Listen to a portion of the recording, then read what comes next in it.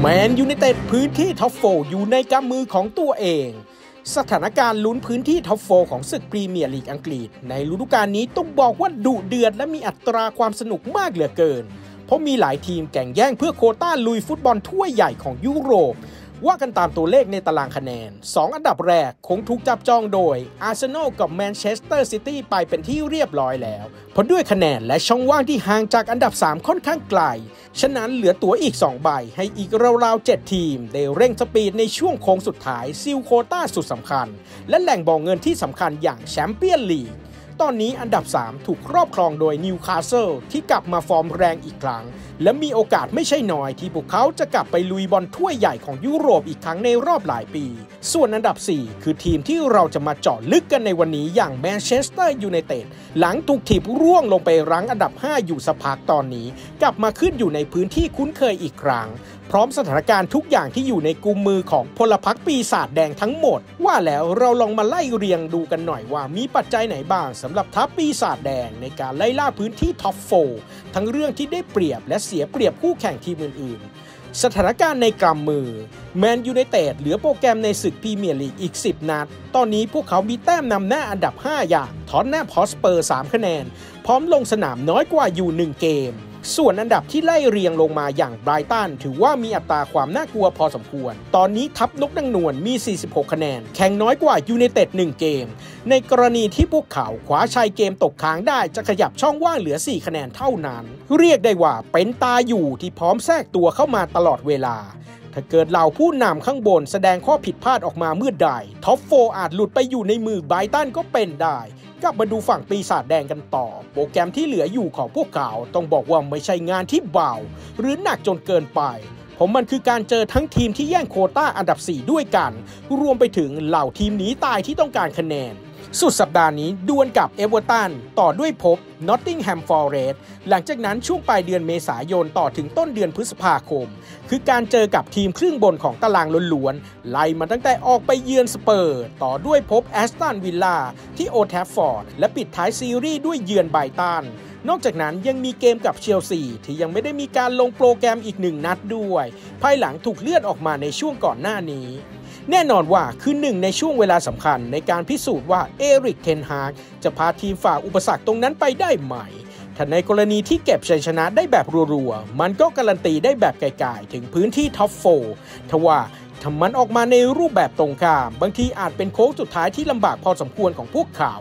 ส่วนหลังจาก 3 เกมหนักยูไนเต็ดจะโคจรมาดวลกับเวสต์แฮมวูล์ฟแฮมป์ตันบอร์นมัธและปิดท้ายที่ฟูแล่ม คิดง่ายๆ ถ้าเก็บชัยชนะได้เรื่อยๆ ก็ยึดอันดับ 3-4 ได้แบบสบายๆ ไม่ต้องไปคอยตามแช่งคู่แข่งให้สะดุด ซึ่งอย่างที่กล่าวไปไม่ยากจนเกินไป และไม่หนักมากจนมองไม่เห็นแสงสว่างที่ปลายอุโมงค์ ซึ่งทุกอย่างอยู่ในกุมมือของพวกเขาว่าจะฝ่าด่านอรหันต์ตรงนี้ไปได้หรือเปล่า rotation คือสิ่งสำคัญ นอกจาก 10 เกมที่เหลือในพรีเมียร์ลีกยูไนเต็ดยังมีบอลถ้วยอีก 2 รายการที่กำลังอยู่ในช่วงหัวเลี้ยวหัวต่อในการพิชิต trophy คือ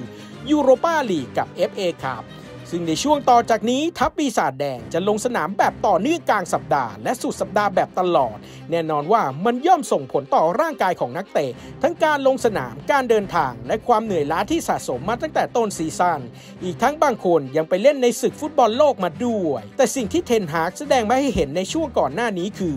การไม่ค่อยจะหมุนทีมมากเท่าไหร่นักตัวหลักๆ อย่างบรูโน่แฟร์นันเดส มาร์คัสแรชฟอร์ด หรือลิซานโดรมาร์ติเนซ ลงเล่นกล้ามศึกหนักติดต่อกันมาตลอด ซึ่งถ้าจะหานักเตะที่ได้พักก็คือไม่ได้รับบาดเจ็บ หรือติดโทษแบนอย่างในรายของกาเซมิโร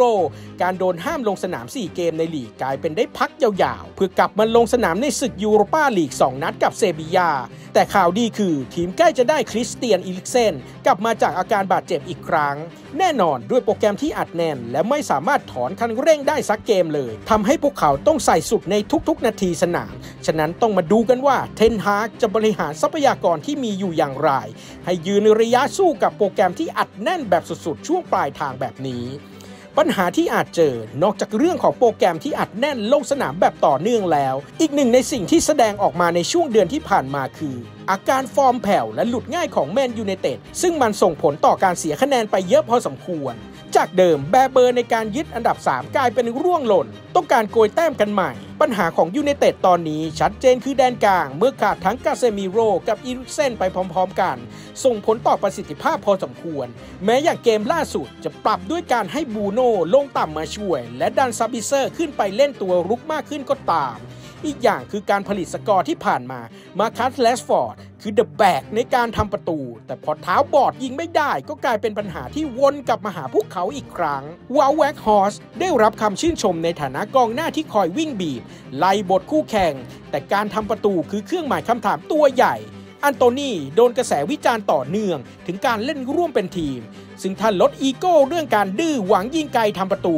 คงส่งผลดีต่อทีมในช่วงที่เหลือ หรือแม้แต่คนอื่นๆอย่าง เจดอนซานโช3วันดี 4 วันร้าย หามาตรฐานที่แท้จริงไม่เจอเสียที ซึ่งเมื่อมวลรวมมันต้องปรับต้องอยู่ที่เทนฮากแล้วว่าจะดึงศักยภาพของนักเตะให้ออกมาอีกครั้งอย่างไร เพราะเชื่อว่าตัวเขาคงมองเห็นปัญหาที่กำลังก่อตัวในตอนนี้ บทสรุปสุดท้ายพื้นที่ top four ของแมนเชสเตอร์ยูไนเต็ด มันอยู่ในกำมือของพวกเขาเอง ว่าจะสามารถกุมความได้เปรียบตรงนี้ไว้ได้หรือไม่ มันไม่ใช่งานที่ง่าย แต่ก็ไม่ยากจนเกินไปสำหรับพวกเขาชะตาทุกอย่างจะถูกกำหนดขึ้นด้วยผลงานในสนามต่อจากนี้